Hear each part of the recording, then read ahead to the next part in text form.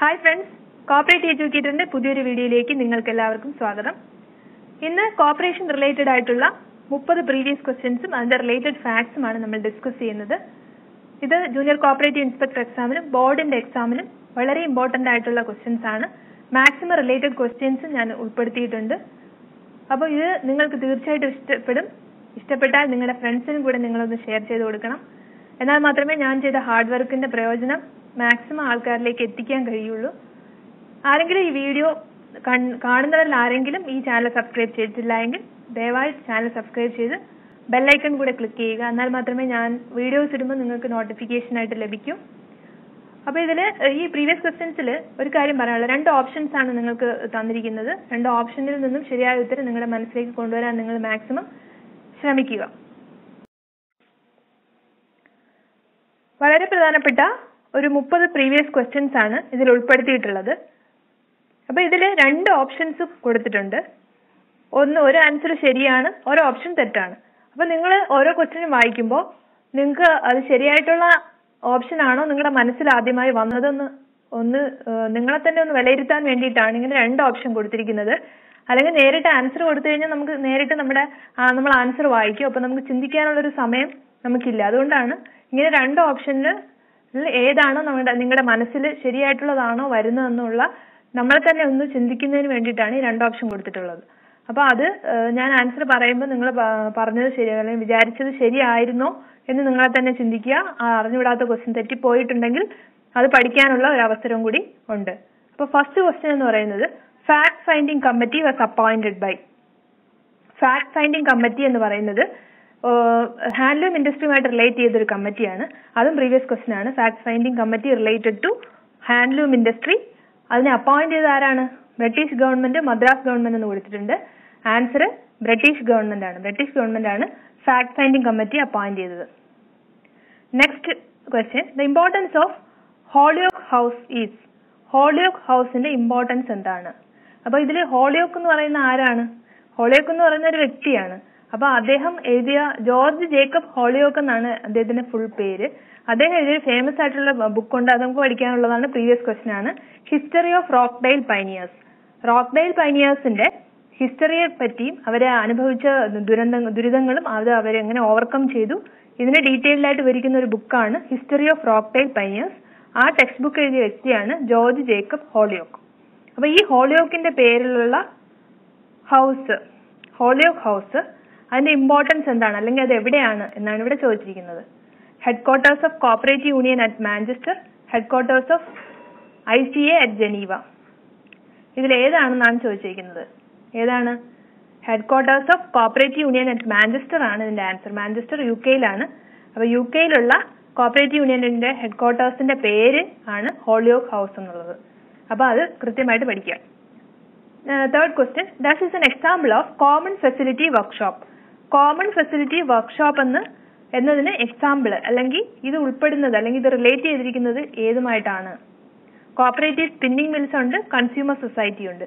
നിങ്ങളുടെ മനസ്സിൽ വരുന്ന ഏതാണ്?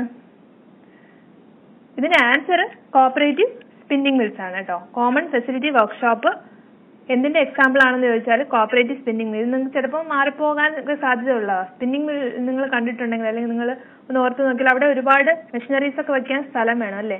അപ്പോൾ ഒരുപാട് ഫെസിലിറ്റി വേണം. അങ്ങനെ ഓർത്താൽ മതി. അപ്പോൾ common facility workshop cooperative spinning മില്ലുകളുമായിട്ട് ബന്ധപ്പെട്ടതാണ്. ഇനി നെക്സ്റ്റ് ക്വസ്റ്റ്യൻ എന്ന് പറയുന്നത് marketing society will set apart at least dash percentage of net profit to price fluctuation fund അപ്പോൾ മാർക്കറ്റിംഗ് സൊസൈറ്റിയിലും കൺസ്യൂമർ സൊസൈറ്റിയിലും പ്രൈസ് ഫ്ലക്ച്വേഷൻ ഫണ്ട് അവർ മെയിന്റെയിൻ ചെയ്യുന്നുണ്ട്. അപ്പോൾ മാർക്കറ്റിംഗ് സൊസൈറ്റിയിൽ എത്ര പെർസെന്റേജ് ആണ് നെറ്റ് പ്രോഫിറ്റിന്റെ എത്ര പെർസെന്റേജ് ആണ് പ്രൈസ് ഫ്ലക്ച്വേഷൻ ഫണ്ടിലേക്ക് അവർ സെറ്റ് ആർട്ട് ചെയ്യുന്നതെന്നാണ് ക്വസ്റ്റ്യൻ എത്രയാണ്? ടെൻ പെർസെന്റേജ് ഉണ്ട് ഫിഫ്റ്റീൻ പെർസെന്റേജ് ഉണ്ട്. എല്ലാവർക്കും ഇത് ഒരുവിധം അറിയാമെന്നുള്ള ക്വസ്റ്റ്യൻ ടെൻ പെർസെന്റേജ് ആണ്. അതുപോലെ തന്നെ ടെൻ പെർസെന്റേജ് വേറെ ചിലയിടങ്ങളിൽ കൂടെ മെയിന്റെയിൻ ചെയ്യുന്നുണ്ട്. അതായത് milk producer സൊസൈറ്റികളിൽ cattle mortality fund cattle development fund ഇപ്പൊ കാറ്റിൽ മോർട്ടാലിറ്റി ഫണ്ട് നമുക്കറിയാം.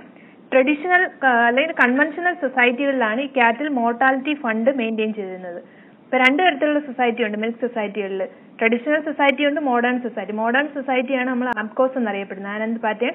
കോപ്പറേറ്റീവ് സൊസൈറ്റി ഈ traditional സൊസൈറ്റീസിലാണ് cattle mortality fund traditional society എന്തുമായിരുന്നു ക്ഷീര വ്യവസായ സൊസൈറ്റി ക്ഷീര അവിടെ മിൽക്ക് വ്യവസായമാണ് നടന്നിരുന്നത്.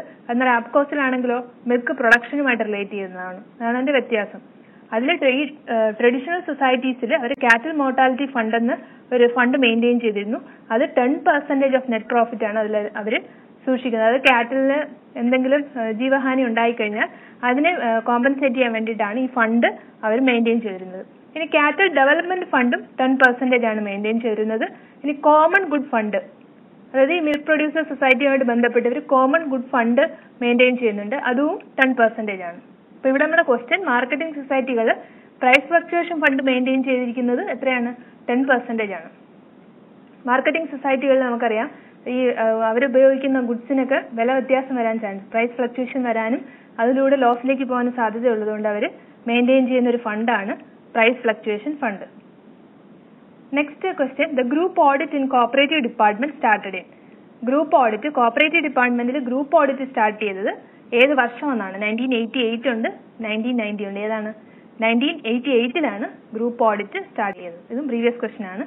ഇനി next the professional audit in India was introduced in India by companies act or K C S act അപ്പം പ്രൊഫഷണൽ ഓഡിറ്റ് ഇന്ത്യയിൽ ഇൻട്രൊഡ്യൂസ് ചെയ്തത് ഏത് ആക്ട് പ്രകാരം എന്നാണ് ഇവിടെ ചോദിച്ചിരിക്കുന്നത്.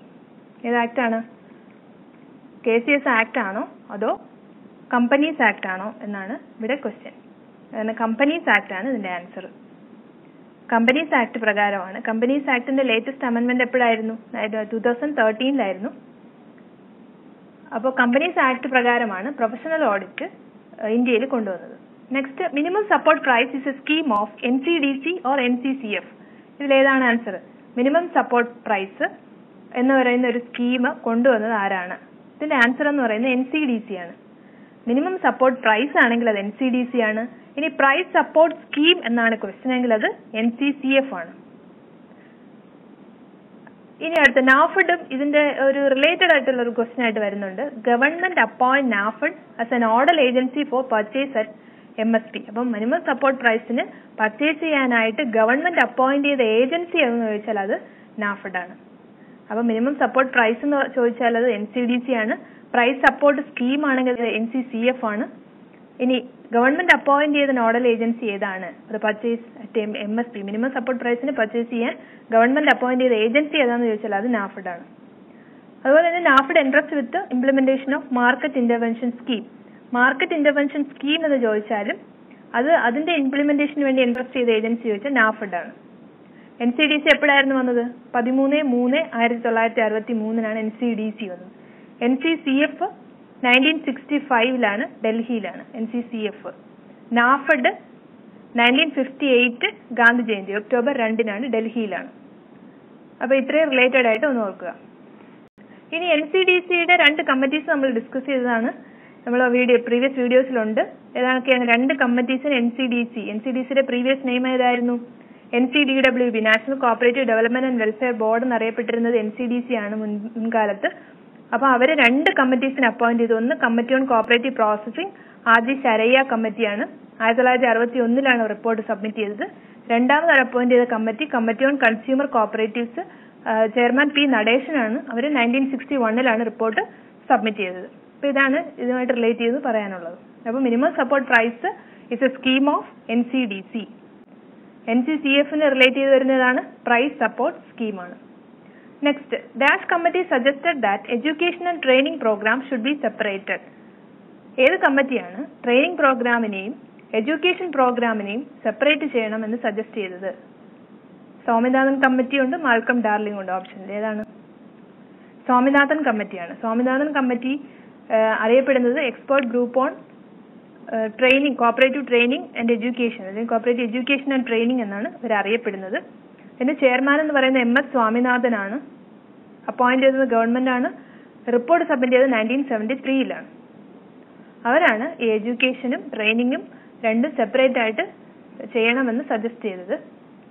സ്വാമിനാഥൻ കമ്മിറ്റിയുടെ മെയിൻ റെക്കമെൻഡേഷൻ ഏതാണ്? എൻ സി സി ടി വന്നത് സ്വാമിനാഥൻ കമ്മിറ്റിയുടെ മെയിൻ റെക്കമെൻഡേഷൻ ആണ്. അത് പ്രീവിയസ് ക്വസ്റ്റൻ ആണ്. ഇനി മാൽക്കം ഡാർലിംഗ് ആരായിരുന്നു? Malcolm Darling is a cooperative consultant to planning commission planning കമ്മീഷന്റെ ഒരു കോപ്പറേറ്റീവ് കൺസൾട്ടന്റ് ആയിരുന്നു മാൽക്കം ഡാർലിംഗ് ഇതിനെ അപ്പോയിന്റ് ചെയ്ത ആരാണ്? ഗവൺമെന്റ് ഓഫ് ഇന്ത്യ അപ്പോയിന്റ് ചെയ്തൊരു കമ്മിറ്റിയാണ് മാൽക്കം ഡാർലിംഗ് അവർ റിപ്പോർട്ട് സബ്മിറ്റ് ചെയ്തത് നയന്റീൻ ഫിഫ്റ്റി സെവനിലെന്നും ഉണ്ട് ഫിഫ്റ്റി എയ്റ്റിലെന്നും കാണുന്നുണ്ട്. അത് നിങ്ങൾ ഓപ്ഷൻ അനുസരിച്ച് എഴുതുക. ഇവർ റെക്കമെൻഡ് ചെയ്തത് എന്താണ്? Area of operation not exceed two miles from its headquarter village അപ്പോൾ ഒരു സൊസൈറ്റിയുടെ area of operation headquarter headquarters എവിടെയാണ് ഏത് വില്ലേജിലാണോ ഇരിക്കുന്നത് അതിൽ രണ്ട് മൈലിൽ കൂടാൻ പാടില്ല എന്ന് പറഞ്ഞു അപ്പോൾ ഏരിയ ഓഫ് ഓപ്പറേഷൻ ഒരുപാട് കൂടാൻ പാടില്ല എന്നാണ് ഇവർ പറഞ്ഞത്.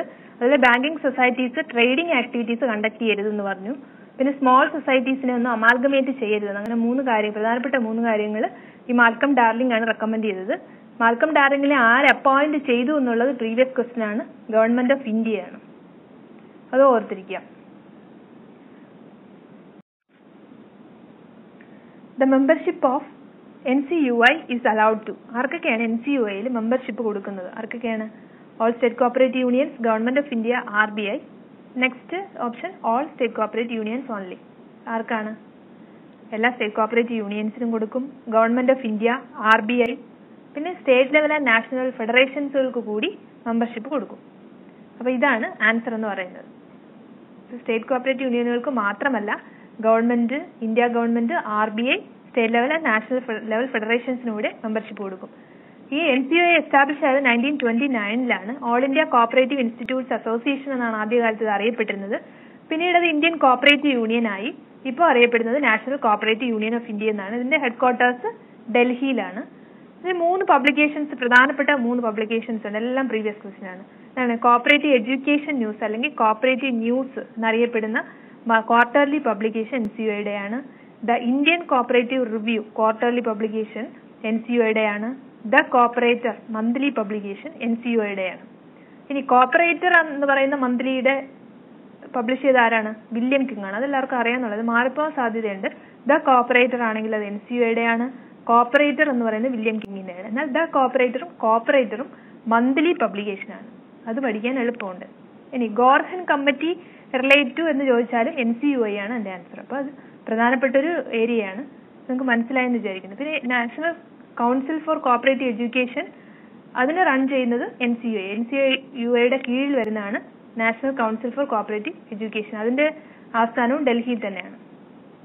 അപ്പോൾ ഇത്രയാണ് എൻ സി യു ആയിട്ട് റിലേറ്റ് ചെയ്ത് പറയാനുള്ള പ്രധാനപ്പെട്ട കാര്യങ്ങൾ. Next first milk supply union in Kerala കേരളത്തിലെ ആദ്യത്തെ മിൽക്ക് സപ്ലൈ യൂണിയൻ ഏതെന്നാണ് ചോദിച്ചിരിക്കുന്നത്? അത് എവിടെയാണ്? കാലിക്കറ്റ് ആണോ എറണാകുളം ആണോ എന്നാണ്. ഏതാണ് നിങ്ങളുടെ മനസ്സിൽ വന്ന ആൻസർ കാലിക്കട്ട് ആണ് ശരിക്കുള്ള ആൻസർ കാലിക്കറ്റിൽ തന്നെയാണ് first milk society in Kerala വന്നത്. ഏതാണ് നമ്മൾ പ്രീവിയസ് വീഡിയോസിൽ ഡിസ്കസ് ചെയ്തതാണ്? തിരുമല വനിതയാണ്. കോഴിക്കോട് തിരുമല വനിതയാണ് first milk society in Kerala ഇനി ഇന്ത്യയിൽ ആദ്യത്തെ മിൽക്ക് സൊസൈറ്റി ചോദിച്ചാൽ ഖത്ര അലഹാബാദ് ഖത്രയാണ് നയന്റീൻ തേർട്ടീനിലാണ് അത് എസ്റ്റാബ്ലിഷ് ചെയ്തത്. ഇനി ഒരു ക്വസ്റ്റ്യൻ കൂടെ ചോദിക്കട്ടെ. Apex body of dairy cooperatives in India എന്നറിയപ്പെടുന്ന ഫെഡറേഷൻ ഏതാണ്? National cooperative dairy federation of India എന്ന പേരിൽ അറിയപ്പെടുന്ന N C D F I ആണ്. ഡയറി കോപ്പറേറ്റീവ്സിന് ഇന്ത്യയിലെ ഡയറി കോപ്പറേറ്റീവ്സിന്റെ എല്ലാം അപ്പെക്സ് ബോഡി ഇതിന്റെ ഹെഡ് ഓഫീസ് ആനന്ദിലാണ്. ഗുജറാത്തിലെ ആനന്ദിലാണ് ഹെഡ് ഓഫീസ് രജിസ്റ്റർ ചെയ്തിരിക്കുന്നത് ആയിരത്തി തൊള്ളായിരത്തി എഴുപത് ഡിസംബർ ഏഴിനാണ് N C D F I register ചെയ്തിരിക്കുന്നത്. Bombay cooperative societies act nineteen twenty five പ്രകാരമാണ് ഈ N C D F I Anand ഗുജറാത്തിൽ രജിസ്റ്റർ ചെയ്തിരിക്കുന്നത്. അപ്പൊ ഇതും കൂടെ നിങ്ങൾ ഓർത്തിരിക്കുക. Next consumer cooperative societies belongs to the category of അപ്പൊ കൺസ്യൂമർ കോപ്പറേറ്റീവ് സൊസൈറ്റീസ് ഏത് കാറ്റഗറിയിലാണ് വരുന്നത്? രണ്ട് ഓപ്ഷൻ കൊടുത്തിട്ടുണ്ട്. ഏതൊക്കെയാണ്? Non agri non credit non agriculture credit അപ്പൊ ഇത് രണ്ടും എന്താണെന്ന് മനസ്സിലാക്കിയാൽ നമുക്ക് ഇതിന്റെ ക്വസ്റ്റ്യൻ ആൻസർ ചെയ്യാൻ പറ്റും. ഇത് മാറിപ്പോവാൻ സാധ്യതയുള്ളതാണ്. എന്താണ് നോൺ അഗ്രികൾച്ചർ ക്രെഡിറ്റ് അഗ്രികൾച്ചറിനല്ലാതെ വായ്പ കൊടുക്കുന്നു. അഗ്രികൾച്ചറിനല്ലാതെ വായ്പ കൊടുക്കുന്ന സ്ഥാപനത്തിന് എക്സാമ്പിൾ ഏതാണ്? അർബൻ കോപ്പറേറ്റീവ് ബാങ്ക് അവർ ഇൻഡസ്ട്രിയലിസ്റ്റിനും ചെറിയ ആർട്ടിസൻസിനും ഒക്കെയാണ് അല്ലെ വായ്പ കൊടുക്കുന്നത്. അത് അഗ്രികൾച്ചറിനല്ല കൃഷിക്ക് വേണ്ടിയിട്ടല്ല അർബൻ കോപ്പറേറ്റീവ് ബാങ്ക് കൊടുക്കുന്നത്. അപ്പം നോൺ അഗ്രികൾച്ചർ ക്രെഡിറ്റിൽ വരുന്നത് എക്സാമ്പിൾ അർബൻ കോപ്പറേറ്റീവ് ബാങ്ക് ആണ്.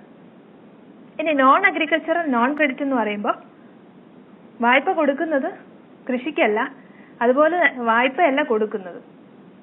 മറ്റു തരത്തിലുള്ള എന്താണ് കോപ്പറേറ്റീവ് ആക്ടിവിറ്റിയാണ് അവർ ചെയ്യുന്നത്. വായ്പയല്ല പിന്നെന്തല്ല? അഗ്രികൾച്ചറുമായിട്ടൊരു റിലേഷനും ഇല്ല.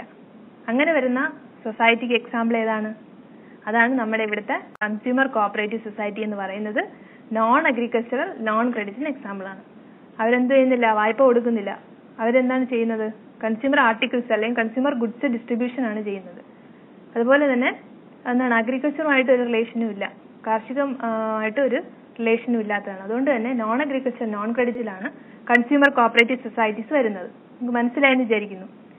Next question the concept of multi purpose credit society was introduced in concept of multi purpose credit society multi purpose credit society എന്ന് പറയുന്ന കൺസെപ്റ്റ് ഇൻട്രൊഡ്യൂസ് ആയ വർഷം ഏതാണ്? Nineteen forty five or nineteen forty one ഏതാണ് answer നിങ്ങൾക്ക് ഏതാണ് മനസ്സിൽ വന്നത്?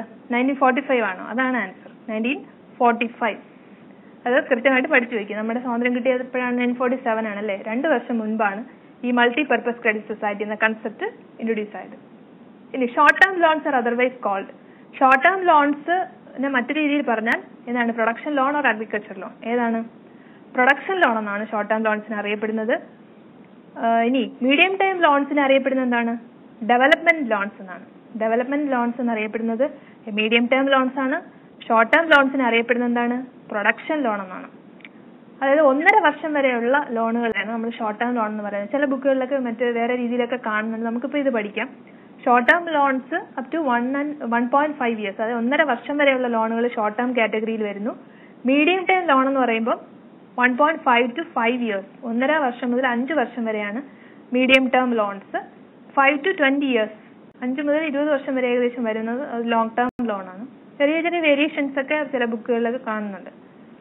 അപ്പോൾ ഷോർട്ട് ടേം ലോൺസ് എന്ന് അറിയപ്പെടുന്നത് പ്രൊഡക്ഷൻ ലോൺ ആണ്. മീഡിയം ടേം ലോൺ എന്ന് അറിയപ്പെടുന്നത് ഡെവലപ്മെന്റ് ലോൺസ് ആണ്.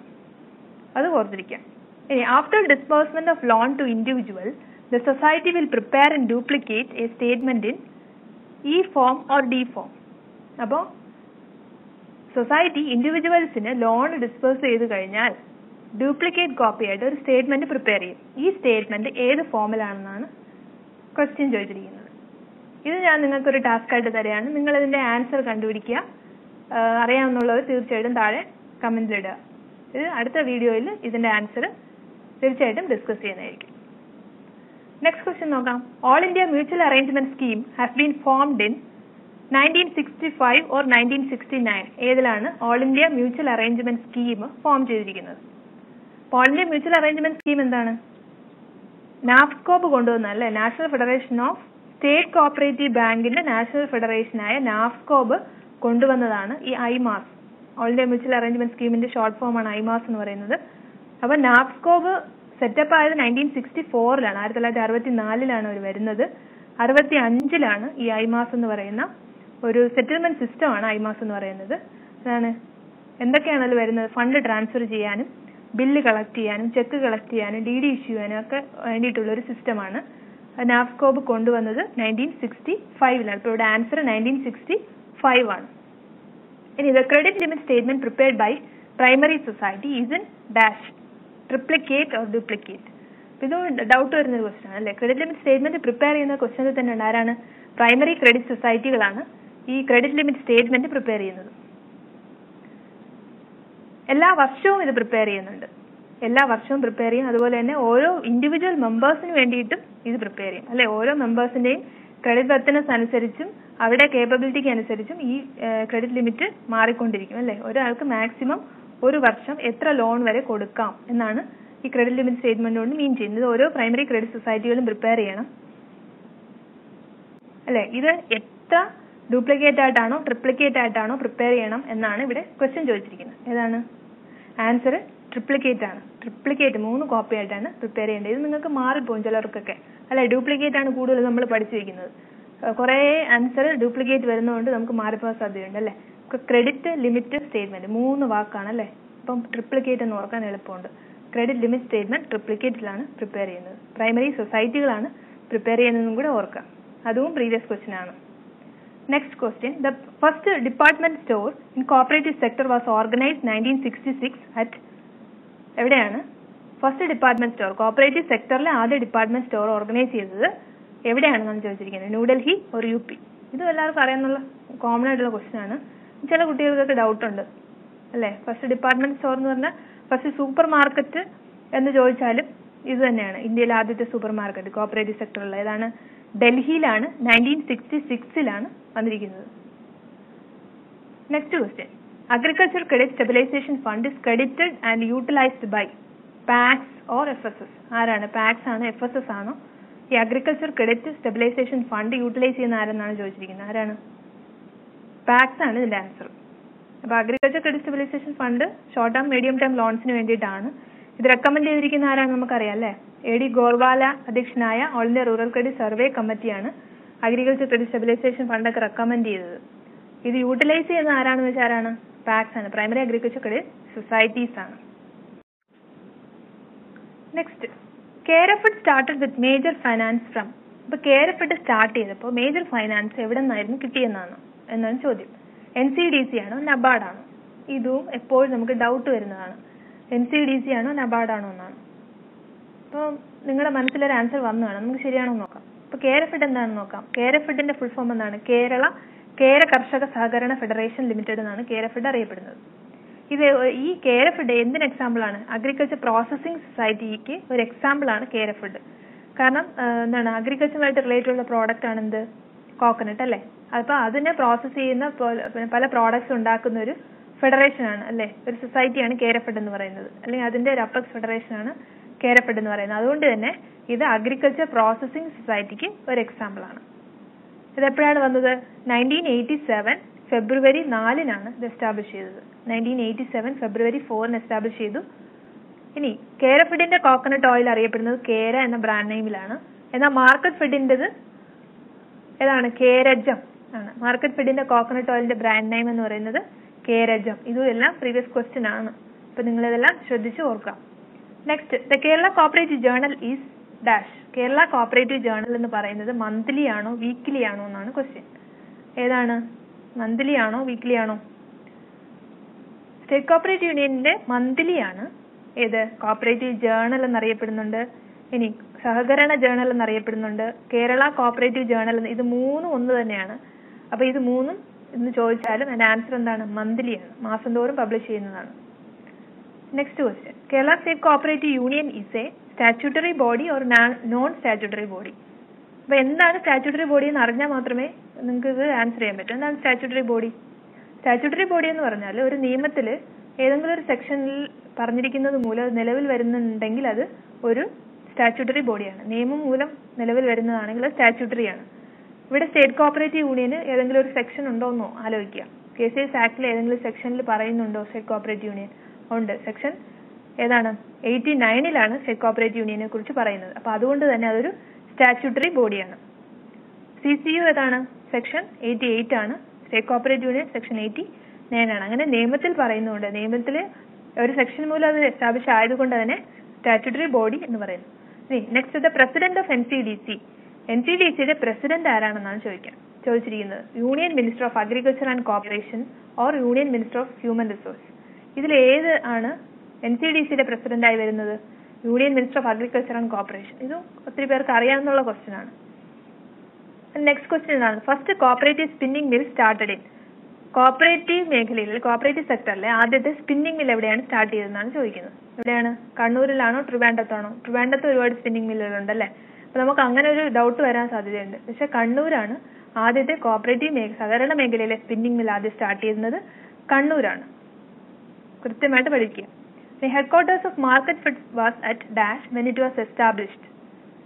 Establish ആവുമ്പോൾ മാർക്കറ്റ് ഫെഡിന്റെ ഹെഡ്ക്വാർട്ടേഴ്സ് എവിടെയാണെന്നാണ് ക്വസ്റ്റ്യൻ കാലിക്കറ്റ് ആണോ എറണാകുളമാണോ? ഇതും എല്ലാവരും കാണാതെ എടുത്തു വെച്ചിരിക്കുന്നത് തന്നെയാണ്. എന്താണ് മാർക്കറ്റ് ഫെഡ് എപ്പോഴായിരുന്നു വന്നത്? മാർക്കറ്റ് ഫെഡിന്റെ ഫുൾ ഫോം എന്താണ്? Kerala state cooperative marketing federation K S C M F എന്നറിയപ്പെടുന്നു. ആയിരത്തി തൊള്ളായിരത്തി നാൽപ്പത്തി രണ്ടിലാണ് ഈ ഡിസ്ട്രിക്ട് ഹോൾസെയിൽ സ്റ്റോർ ആയിട്ടാണ് ഇത് മലബാർ ഏരിയയിൽ അതായത് കാലിക്കറ്റിൽ ആദ്യമായിട്ട് ഇത് ഡിസ്ട്രിക്ട് ഹോൾസെയിൽ സ്റ്റോർ എന്ന പേരിലാണ് നയന്റീൻ ഫോർട്ടി ടൂവിൽ വരുന്നത്. ഇത് പിന്നെ ഗവൺമെന്റ് പാർട്ണർഷിപ്പോടുകൂടെ ഇത് south Malabar district supply and marketing society ആയിട്ട് മാറും. അതായത് ആയിരത്തി തൊള്ളായിരത്തി അൻപത്തി എട്ടിലാണ് ഗവൺമെന്റ് പാർട്ണർഷിപ്പിലേക്ക് വരുന്നത്. ആയിരത്തി തൊള്ളായിരത്തി അറുപതിലാണ് കേരള സ്റ്റേറ്റ് കോപ്പറേറ്റീവ് മാർക്കറ്റിംഗ് ഫെഡറേഷനായി മാറുന്നത്. അപ്പൊ നമ്മൾ പഠിക്കുന്നത് എപ്പോഴും ആയിരത്തി തൊള്ളായിരത്തി അറുപതാണ് മാർക്കറ്റ് ഫെഡ് എസ്റ്റാബ്ലിഷ് ആയത് ആയിരത്തി തൊള്ളായിരത്തി അറുപതിലെന്നാണ് അപ്പോൾ അത് ഹെഡ്ക്വാർട്ടേഴ്സ് കോഴിക്കോടായിരുന്നു. ആയിരത്തി തൊള്ളായിരത്തി അറുപതിൽ തന്നെ ഈ ഹെഡ്ക്വാർട്ടേഴ്സ് കൊച്ചിയിലേക്ക് അല്ലെങ്കിൽ എറണാകുളത്തേക്ക് ഷിഫ്റ്റ് ചെയ്യും. അപ്പൊ present headquarters of market fed എന്ന് ചോദിച്ചാൽ എവിടെയാണ്? കൊച്ചിയാണ്. പക്ഷെ സ്റ്റാർട്ട് ചെയ്തപ്പോൾ എവിടെയാണെന്ന് ചോദിച്ചാൽ അത് കാലിക്കട്ടുമാണ് ആൻസർ അപ്പോൾ അത് തെറ്റിപ്പോരുത്. നെക്സ്റ്റ് ക്വസ്റ്റ്യൻ എന്താണ്? National federation of labour cooperatives was formed in national labour കോപ്പറേറ്റീവ്സിന്റെ national federation ഏത് വർഷമാണ് ഫോം ചെയ്തത്. ആയിരത്തി തൊള്ളായിരത്തി എൺപത്തി ഒന്നാണോ എൺപത്തി എട്ടാണോ എന്നാണ്. ആയിരത്തി തൊള്ളായിരത്തി എൺപത്തി ഒന്നിലാണ് ഫോം ചെയ്തിരിക്കുന്നത്. ഇത് ഒരു വേറൊരു പേരിൽ അറിയപ്പെടുന്നുണ്ട് ലാബ്കോ ഫെഡ് എന്നാണ് അറിയപ്പെടുന്നത്. അല്ലെങ്കിൽ N L C F labco fed എന്നൊക്കെ പറയുന്നത് നാഷണൽ ഫെഡറേഷൻ ലേബർ കോപ്പറേറ്റീവ്സിനെയാണ് ഇതിന്റെ ഹെഡ്ക്വാർട്ടേഴ്സ് ഡൽഹിയിലാണ്. അഗ്രികൾച്ചർ മിനിസ്ട്രിയുടെ കീഴിലാണ് ഇത് ഫോം ചെയ്തിരിക്കുന്നത്. ഇതിനൊരു ആപ്തവാക്യമുണ്ട് കേട്ടോ. ശ്രമ ഏവ ജയതേ എന്നാണ്. ശ്രമം. ശ്രമിക്കുന്നതല്ലേ? ലേബർ ലേബർ എപ്പോഴും ഭയങ്കര ശ്രമിക്കുന്നവരാണ് അല്ലേ അധ്വാനിക്കുന്നവരാണ്. അതുകൊണ്ട് ശ്രമ ഏവ ജയതേ എന്ന് വെച്ചാൽ നമ്മൾ ഒരു ഡൗട്ടും കൂടാതെ നമുക്ക് പറയാം. നാഷണൽ ഫെഡറേഷൻ ഓഫ് ലേബർ കോപ്പറേറ്റീവ്സിന്റെ മുഖവാക്യം അല്ലെങ്കിൽ ആപ്തവാക്യമാണ്. ആയിരത്തി തൊള്ളായിരത്തി എൺപത്തി ഒന്നിലാണ് അവർ ഫോം ചെയ്തത്. Next the first housing society organised in the year ഏത് വർഷമാണ് ആദ്യത്തെ ഹൗസിംഗ് സൊസൈറ്റി ഓർഗനൈസ് ചെയ്തത്? ആയിരത്തി തൊള്ളായിരത്തി അഞ്ചിലാണോ? ആയിരത്തി തൊള്ളായിരത്തി ആറിലാണോ? ഇതും എല്ലാവർക്കും അറിയാൻ തോന്നും. സാരസ്വത് ഗ്രാമിണി ബോംബെ പ്രൊവിൻസിലാണ് ആദ്യത്തെ എന്താണ്? മാർക്കറ്റിംഗ് സൊസൈറ്റി അല്ല ഹൗസിംഗ് സൊസൈറ്റി ഏതാണ്? സാരസ്വത് ഗ്രാമിണിയാണ് ആദ്യത്തെ ഹൗസിംഗ് സൊസൈറ്റി ബോംബെ പ്രൊവിൻസിലാണ് അത് വന്നത് ആയിരത്തി തൊള്ളായിരത്തി അഞ്ചിലാണ് അഞ്ചിൽ അഞ്ചിൽ അതുപോലെ തന്നെ വന്ന first consumer society registered in India ആയിരത്തി തൊള്ളായിരത്തി അഞ്ചിലാണ് ട്രിപ്ലിക്കൻ അർബൻ കോപ്പറേറ്റീവ് സൊസൈറ്റിയാണ് അപ്പൊ അതും ആയിരത്തി തൊള്ളായിരത്തി അഞ്ചിൽ തന്നെയാണ്. അല്ലെങ്കിൽ first cooperative society registered in India എന്ന് ചോദിച്ചാലും ട്രിപ്ലിക്കൻ അർബൻ കോപ്പറേറ്റീവ് സൊസൈറ്റിയാണ് ആയിരത്തി തൊള്ളായിരത്തി അഞ്ചിൽ തന്നെയാണ്. ഇനി next question Subbareddy Subbareddy committee related to urban cooperative bank or PACS ഏതാണ്? സുബാറെഡ്ഡി കമ്മിറ്റി അർബൻ കോപ്പറേറ്റീവ് ബാങ്കുമായിട്ട് റിലേറ്റ് ചെയ്തതാണ്. അതുപോലെ തന്നെ ഞാൻ അർബൻ കോപ്പറേറ്റീവ് ബാങ്കുമായിട്ട് റിലേറ്റ് ചെയ്തൊരു വീഡിയോ ചെയ്തിരുന്നു. അതിൽ രണ്ട് കമ്മിറ്റി എനിക്ക് വിട്ടുപോയിട്ടുണ്ട്. Committee related to urban cooperative ബാങ്കിൽ ശുഭാറെഡ്ഡി കമ്മിറ്റി അതുപോലെ ഇനി ഒരു കമ്മിറ്റി ഉണ്ട്. കെ മാധവ റാവു കമ്മിറ്റി അതിലില്ല എന്നാണ് എനിക്ക് തോന്നുന്നത്. K Madhava Rao committee nineteen ninety നയനിലെ ഒരു കമ്മിറ്റിയാണ് അത് high powered committee on urban cooperative bank എന്നറിയപ്പെടുന്നതും ഈ കമ്മിറ്റി തന്നെയാണ്. അപ്പോയിന്റ് ചെയ്തിരിക്കുന്നത് ആർ ബി ഐ ആണ് ആർ ബി ഐ അപ്പോയിന്റ് ചെയ്തത് എന്തിനു വേണ്ടിയിട്ടാണ്? ഈ Madhava K Madhavarao committee appoint ചെയ്തത്. അർബൻ കോപ്പറേറ്റീവ് ബാങ്കുകളുടെ പെർഫോമൻസ് റിവ്യൂ ചെയ്ത് മെഷേഴ്സ് സജസ്റ്റ് ചെയ്യാൻ വേണ്ടിയിട്ടാണ് K Madhavarao committee R B I recommend ചെയ്തത്. അല്ലെങ്കിൽ അപ്പോയിന്റ് ചെയ്തത്. അപ്പോൾ ഇത് ഈ രണ്ട് കമ്മിറ്റി ശുഭ റെഡ്ഡി കമ്മിറ്റിയും K Madhava Rao committee urban cooperative ബാങ്കുമായിട്ട് relate ചെയ്ത കമ്മിറ്റികളാണ്. അപ്പോൾ അത് പ്രീവിയസ് ക്വസ്റ്റ്യൻസ് ആണ് കൃത്യമായിട്ട് ഓർക്കുക.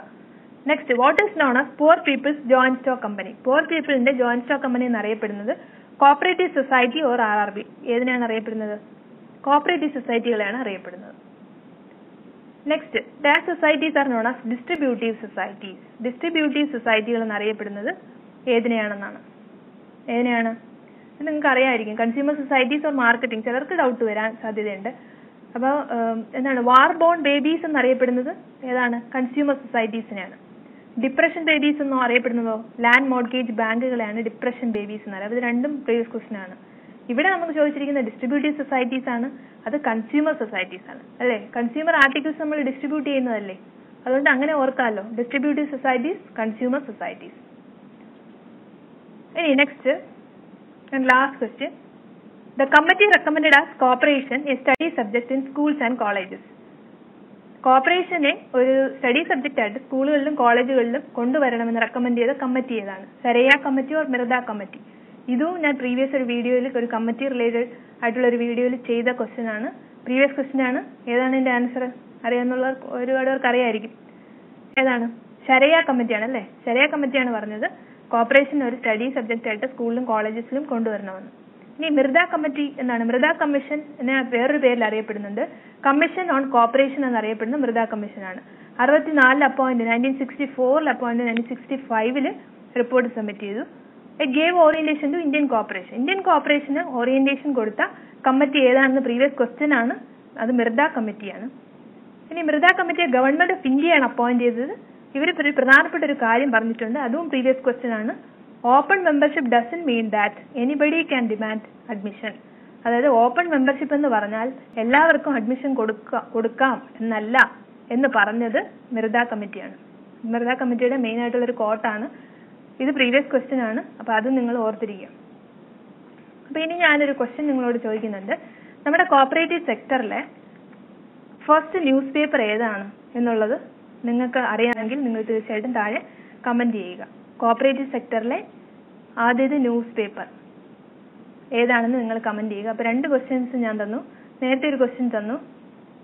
After disbursement of loan to individual the society will prepare and duplicate a statement in dash form അതും നിങ്ങൾക്ക് അറിയാമെങ്കിൽ താഴെ കമന്റ് ചെയ്യുക. അപ്പോൾ ഇത്രയും പ്രീവിയസ് ക്വസ്റ്റ്യൻസ് അതിന്റെ റിലേറ്റഡ് ഫാക്ട്സും നിങ്ങൾക്ക് പ്രയോജനപ്പെട്ടു തീർച്ചയായിട്ടും പ്രയോജനപ്പെട്ടു എന്ന് ഞാൻ വിശ്വസിക്കുന്നു. നിങ്ങളുടെ ഫ്രണ്ട്സിന് കൂടെ ഒന്ന് ഷെയർ ചെയ്ത് കൊടുക്കുക.